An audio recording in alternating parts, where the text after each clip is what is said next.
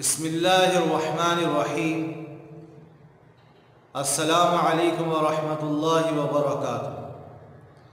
عزیز طلبہ اسلامیات سلسلہ نمبر سات کا اگلا سبق شروع ہوتا ہے۔ مدینہ منورہ کی طرف روانگی مدینہ منورہ کی جانب روانگی یہ کتاب کا صفحہ نمبر ایک سو تین ہے۔ عزیز طلبہ آپ نے گزشتہ سبق میں پڑھا کہ حضور علیہ السلام نے قبا سے روانگی بارہ ربیع الاول ایک ہجری میں فرمائی اور اسی میں راستے میں ایک محلہ بن سالم آیا۔ وہاں حضور علیہ السلام والسلام نے پہلا جمعہ اپنی امامت میں پڑھایا اور اس میں تقریباً سو افراد تھے۔ تو نماز جمعہ سے فراغت کے بعد، نماز جمعہ پڑھنے کے بعد حضور علیہ السلام والسلام اپنی اونٹنی پر سوار ہو گئے اور حضرت ابو بکر صدیق رضی اللہ تعالی عنہ کو اپنے پیچھے اسی اونٹنی پر بٹھا لیا اور اب مدینہ منورہ کی طرف روانہ ہو گئے۔ مدینہ منورہ اس کا پرانا نام یثرب تھا۔ اس کو یثرب کہا جاتا تھا۔ حضور علیہ السلام السلام کی تشریف آوری کے بعد حضور علیہ السلام السلام نے جب مدینہ ہجرت فرما لی تو اس کے بعد اس کا نام مدینۃ الرسول ہو گیا۔ مدینۃ الرسول ہو گیا۔ پھر بعد میں اختصار کی وجہ سے مختصر کرتے ہوئے لوگ لوگ اس کو مدینہ کہتے ہیں اور اس کو مدینۃ الرسول بھی کہا جاتا ہے مدینۃ المنورہ بھی کہا جاتا ہے۔ تو یہاں حضور علیہ السلاۃ السلام نے بنو سالم سے روانہ ہو کر مدینہ منورہ مدینۃ الرسول کی طرف ہجرت فرمائی اور روانگی فرمائی۔ اب حضور علیہ السلاۃ والسلام مدینہ منورہ کی طرف روانہ ہیں۔ جب مدینہ منورہ کے لوگوں کو حضور علیہ السلاۃ والسلام کی تشریف آوری کا علم ہوا کہ حضور صلی اللہ علیہ وسلم مدینہ منورہ پہنچنے والے ہیں، تو لوگ آپ علیہ السلام کے استقبال کے لیے شہر سے باہر نکل آئے۔ حضور علیہ السلام کا استقبال کرنے کے لیے اور محبت اور عقیدت سے بھرے ہوئے تھے۔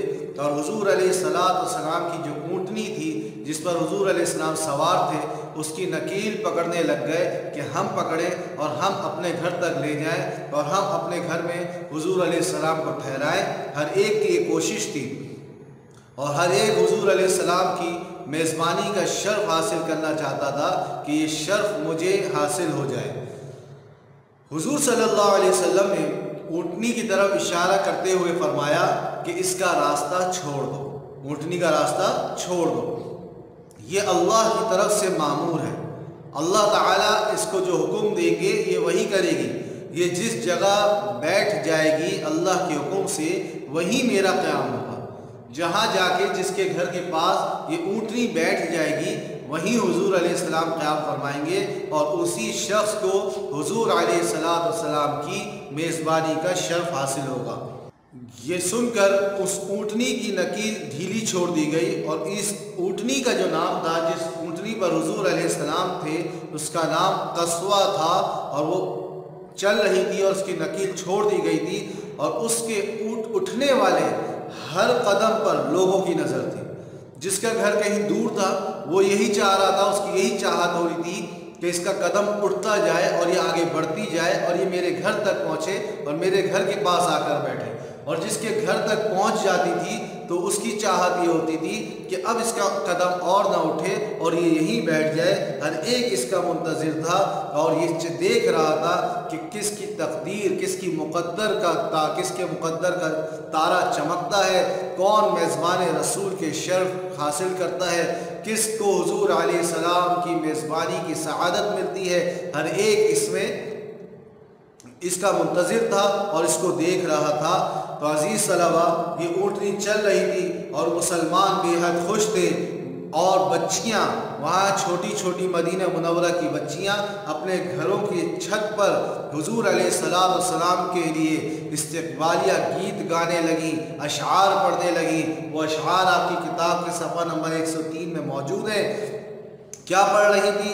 طلع البدر علینا من ثنیات الوداع، وجب الشکر علینا ما دعا للہ داع ایوہ المبعوث فینا جئت بالامر المطاع۔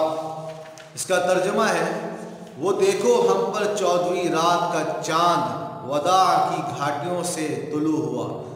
ودا کی طرف سے، گھاٹیوں کی طرف سے حضور علیہ السلام آ رہے تھے، تو وہاں سے چودھویں کا چمکتا ہوا خوبصورت سا چاند ہمارے لیے طلوع ہوا ہے، ہماری طرف آ رہا ہے۔ ہم پر حضور علیہ السلام کی آمد کے احسان کا شکر لازم۔ جو حضور علیہ السلام ہمارے پاس آئے، ہمارے شہر میں آئے، یہ جو آمد ہوئی ہے، اس کا ہم حضور علیہ السلام کا شکریہ ادا کریں۔ ہم پر لازم ہے، کیونکہ انہوں نے یہ شرف دیا کہ ہم ہمارے پاس آئے ہیں۔ جب تک اللہ کی طرف بلانے والے یعنی حضور علیہ السلام، اللہ کے بندوں کو اللہ کی طرف بلاتے رہیں گے، جب تک حضور علیہ السلام اللہ کے بندوں کو اللہ کی طرف بلاتے رہیں گے، دین کی محنت کرتے رہیں گے، ہم ان کا شکر ادا کرتے رہیں۔ اے وہ مقدس ذات جو رسول بنا کر ہم میں بھیجی گئی ہے۔ اے وہ مقدس مقدس ذات جو رسول بنا کر ہم میں بھیجی گئی ہے، آپ کے احکام کی اطاعت ہم پر لازم۔ آپ جو حکم کریں گے، جو ہم کو ہمیں دین سکھائیں گے اور دین کے جتنے احکام ہمیں بتائیں گے، وہ ان سب کی اطاعت ہم پر لازم ہے، ہم ان کی اطاعت کریں گے۔ یہ ترانے پڑھ رہے تھے اور اس کے بعد میزبانی کا شرف کس کو حاصل ہوتا ہے؟ لوگوں کی نظر ہے کہ یہ اونٹنی کہاں بیٹھتی ہے؟ مسجد نبوی جس جگہ تعمیر ہوئی۔ عزیز طلبہ اس وقت بھی جہاں مسجد نبوی صلی اللہ علیہ وسلم تعمیر ہوئی ہے۔ اس کے بالکل متصل، اس کے بالکل پاس حضرت ابو ایوب انصاری رضی اللہ عنہ کا مکان تھا۔ حضرت ابو ایوب انصاری رضی اللہ تعالیٰ عنہ ایک جلیل القدر صحابی ہیں۔ آپ ان کا نام سن چکے ہوں گے۔ ان کا اصل نام خالد تھا۔ اصل نام حضرت ابو ایوب انصاری رضی اللہ عنہ کا اصل نام خالد تھا اور ان کی کنیت ابو ایوب تھی۔ حضرت ابو ایوب انصاری رضی اللہ عنہ بنو نجار خاندان تھا، اس سے تعلق رکھتے تھے۔ اور حضور علیہ السلام السلام کی ننیالی رشتہ داری بھی بنو نجار خاندان سے تھی یعنی حضور علیہ السلام کی والدہ اور نانی وغیرہ کی جو ننیالی رشتہ داری ہوتی ہے، وہ بنو نجار سے تھی۔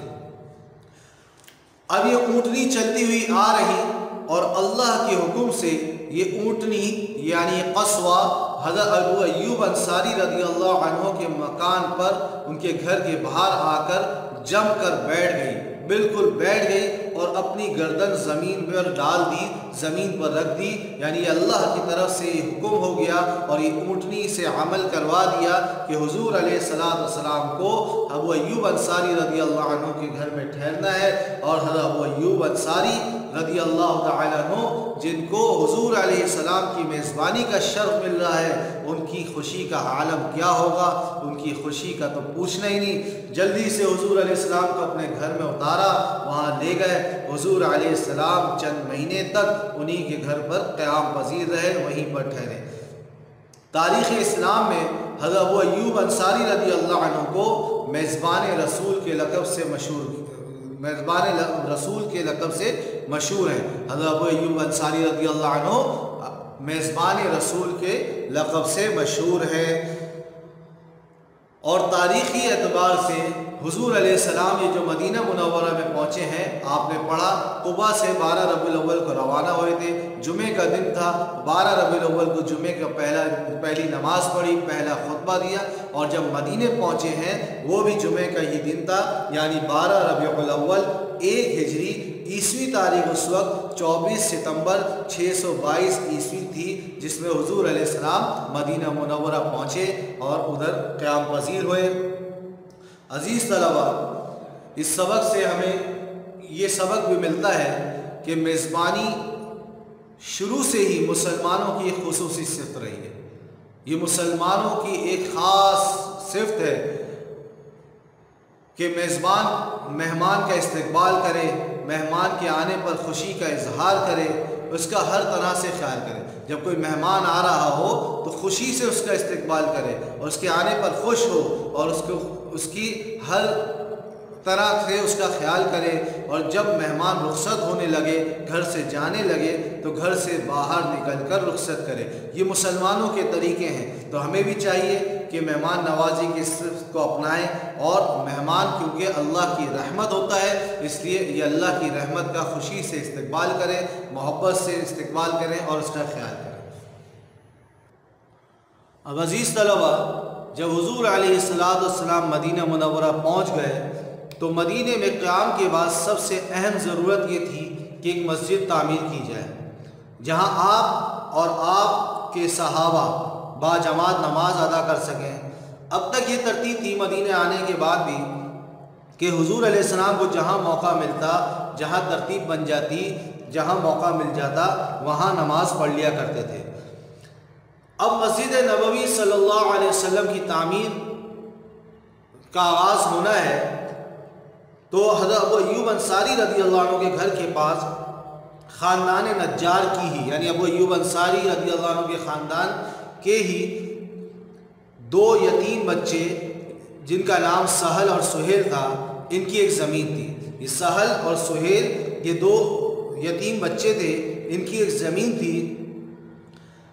وہ حضور علیہ السلام والسلام نے ان دونوں بچوں کو بلوایا اور ان سے زمین کو مسجد کے لیے قیمتاً خریدنا چاہا کہ یہ ہمیں بیچ دو تاکہ ہم ادھر مسجد بنا لیں۔ تو انہوں نے قیمت لینے سے انکار کر دیا۔ سہل اور سہیل نے قیمت لینے سے انکار کیا کہ ہم اس کو مفت میں ایسے ہی اللہ کی رضا کے لیے دینا چاہتے ہیں۔ لیکن حضور علیہ السلاۃ السلام نے گوارہ نہیں کیا کہ یہ مناسب نہیں ہے، کیونکہ وہ دو یتیم بچے تھے، ان کی بھی اپنی ضرورت تھی، تو اس لیے حضور علیہ السلام نے منع کیا اور زمین کی قیمت طے کی گئی جو دس دینار طے ہوئی۔ زمین کی قیمت اس وقت دس دینار طے ہوئی۔ حضرت ابو ایوب انصاری رضی اللہ تعالیٰ عنہ نے وہ دس دینار ادا کیے اور ایک روایت میں آتا ہے کہ وہ دس دینار حضرت ابو بکر صدیق رضی اللہ تعالیٰ عنہ نے ادا کیے۔ یہ زمین لے لی اور اب مسجد کی تعمیر کا آغاز ہوتا ہے۔ سب سے پہلے اس زمین کو ہموار کیا گیا اور اس کے بعد مسجد کی تعمیر شروع کر دی گئی۔ اللہ کے رسول حضرت محمد صلی اللہ علیہ وسلم اس بار پھر مسجد کی تعمیر کے لیے خود مزدور بنے ہوئے تھے اور صحابہ اکرام کے ساتھ بڑے بڑے بھاری پتھر اٹھا رہے تھے۔ جس طرح مسجد قبا کی تعمیر میں صحابہ کے ساتھ حضور علیہ السلام السلام خود بھی مزدور بن کر اس مسجد کی تعمیر میں کام کرتے رہے، اسی طرح مسجد نبوی کی تعمیر میں بھی حضور علیہ السلام السلام ساتھ ہی ساتھ تھے۔ صحابہ اکرام رضی اللہ عنہ مجمعین بڑے بڑے پتھر اٹھا کر لا رہے تھے اور یہ اشعار پڑھتے جاتے تھے اور انہی اشعار کے ساتھ حضور علیہ السلام بھی اپنی آواز بھی ملاتے تھے یعنی حضور علیہ السلام بھی وہ اشعار پڑھتے تھے۔ وہ اشعار کیا تھے؟ اللہم لا خیر الا خیر الاخرہ، فاغفر الانصار والمہاجرہ۔ اے اللہ، کامیابی تو صرف آخرت کی کامیابی اصل کامیابی آخرت کی کامیابی ہے۔ اے اللہ، مہاجرین اور انصار کو بخش دے۔ تو یہ مسجد نبوی کی تعمیر ہو رہی ہے۔ جب مسجد نبوی تعمیر ہو گئی تو کیسی بنی؟ عزیز طلبہ اس کی دیواریں کچی تھیں۔ کچی کچی دیواریں تھیں۔ چھت کے لیے کھجور کے ستون اور چھت کھجور کے پتوں کی تھی کھجور کے پتے چھت پر ڈال دیے گئے تھے اور اسی طرح فرش کچا تھا۔ اس میں بارش ہوتی تھی تو کیچڑ ہو جاتا تھا۔ مٹی مٹی تھی، اس میں کیچڑ ہو جاتا تھا، جس کی وجہ سے نماز پڑھنے میں سخت مشکل ہوتی تھی۔ بعد میں سنگریزوں کا فرش بنا دیا گیا، باریک باریک پتھر کے ذریعے اس کا فرش بنا دیا گیا۔ عزیز طلبہ یہ وہ مسجد نبی تھی جس کے نوازی خود ہی اس کے مزدور بنے۔ خود مزدور بنے، خود مسجد تعمیر کی اور خود نماز اس میں پڑھنے لگے۔ اور اسی مسجد میں تمام مسلمان جماعت کے ساتھ نماز پڑھتے تھے اور آقا دو جہاں صلی اللہ علیہ وسلم کی صحبت سے فیضیاب ہوتے تھے۔ حضور علیہ صلاۃ والسلام سے دین سیکھتے تھے۔ حضور علیہ صلاۃ والسلام سے دین کے سارے مسائل سیکھا کرتے تھے۔ مسجد کے قریب کچھ کمرے بنوائے گئے۔ کچھ کمرے مسجد کے پاس بنوائے گئے، حجرے بنوائے گئے، جو کھجور کی شاخوں اور پتوں کے تھے۔ کھجور کی شاخوں اور پتوں سے مسجد کے پاس ہی کچھ کمرے بنائے گئے۔ جب یہ کمرے تیار ہو گئے تو حضور علیہ صلاۃ السلام نے مکہ مکرمہ سے اپنے گھر والوں کو مدینہ منورہ بلوا لیا اور پھر آپ اپنے گھر والوں کے ساتھ مل کر ان کے ساتھ ابو انصاری رضی اللہ تعالیٰ عنہ کے گھر سے ان حجروں میں، ان کمروں میں منتقل ہو گئے۔ وہاں رہنے لگے، وہاں قیام کر لیا۔ عزیز طلبہ اس سبق سے کیا پیغام ملتا ہے کہ ہمیں بھلائی اور نیکی کے کاموں میں لگے رہنا چاہیے۔ ایک بات تو یہ کہ سب سے پہلے جہاں کہیں مسلمان جمع ہے اور وہاں مسجد نہیں ہے، تو سب سے پہلی کوشش یہ ہو کہ وہاں مسجد تعمیر کی جائے۔ دوسری بات یہ کہ بھلائی اور نیکی کے کاموں میں آگے بڑھ کے حصہ لیا جائے اور یہ بھلائی اور نیکی کے جو کام ہیں، یہ تعاون جو نیکی کے لیے ہم کر رہے ہیں، بھلائی کا کام کر رہے ہیں، یہ دو طرح کے۔ ایک طریقہ تو یہ ہے کہ جس میں مال خرچ ہوتا ہے۔ جیسے مسجد کی تعمیر ہو رہی ہے، اس میں کسی نے پیسہ لگا دیا۔ اسی طرح کسی مدرسے میں مدرسے کی تعمیر ہو رہی ہے، اس میں پیسہ دے دیا۔ تو یہ اس کے لیے صدقہ جاریہ بھی ہو گیا۔ جب تک مسلمان اس مسجد میں نماز پڑھتے رہیں گے یا جب تک مدرسے میں طلبہ قرآن و حدیث پڑھتے رہیں گے، اس کو ثواب ملتا رہے گا۔ وہ دنیا سے چلا بھی جائے گا، اس کا اجر اس کو ملتا رہے گا۔